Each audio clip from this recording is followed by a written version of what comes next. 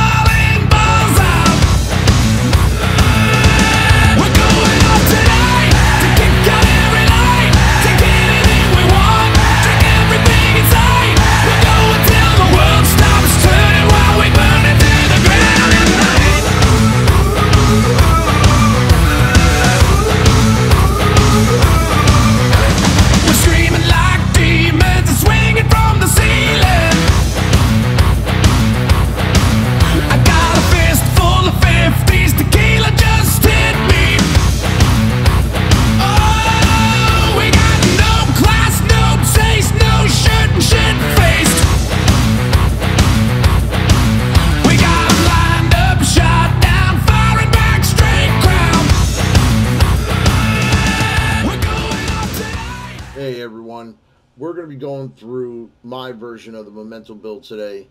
I think you guys are definitely going to enjoy it. So here we go.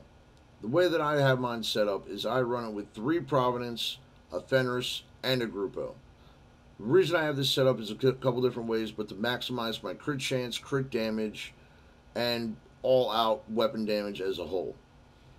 So, the reason that I have it set up with so much high armor, 1.7 million, is every time I get a backpack trophy, I get 50% bonus armor from the five blues that I have on the build. That gives me 850,000 bonus armor every trophy I pick up. On top of that, I also have Intimidate on the chest piece. With that Intimidate proc with the bonus armor, you're going to be hitting at 65% extra damage. That's gigantic. Now with the Fenris, that's also another 10%.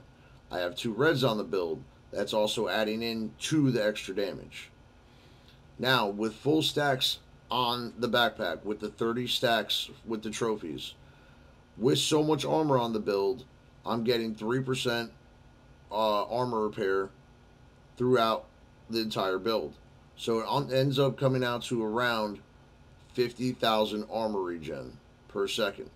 So on top of all the extra weapon damage, on top of all the bonus armor, on top of the armor regen, this build is the powerhouse that you just saw that it is. If you guys have any questions, definitely hit me up and let me know.